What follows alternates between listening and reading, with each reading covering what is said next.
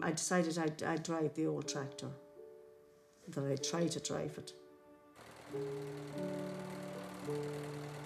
God forbid, you know, you were left on your own, you'd have to.